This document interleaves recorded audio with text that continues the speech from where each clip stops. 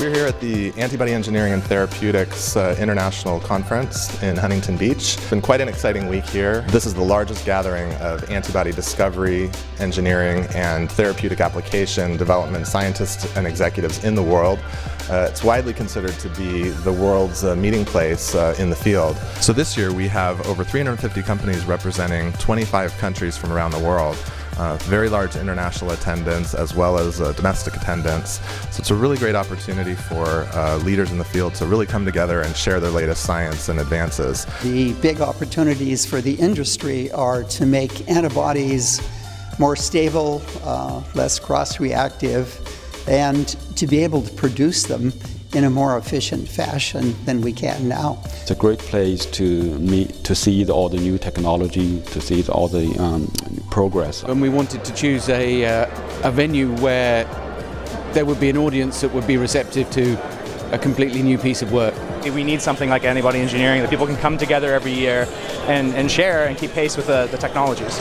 It's good for the networking, so I'm really excited about this opportunity. So I've been here for three times. Yeah. Such a wide range of, of people from academia and from, from corporate as well.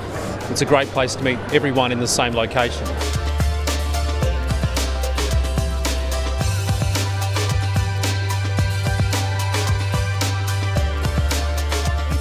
Fantastic traffic on the booth.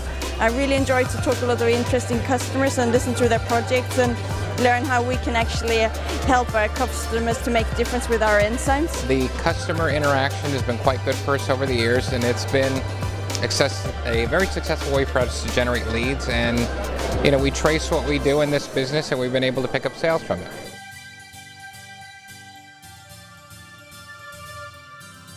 Well, I guess a lot of people are coming to me and talking to me about my poster, which is really, really nice to see. It brings a global audience to us, and we get all sorts of traffic throughout our booth. So for us, this is basically our backyard. And so it makes a very good venue.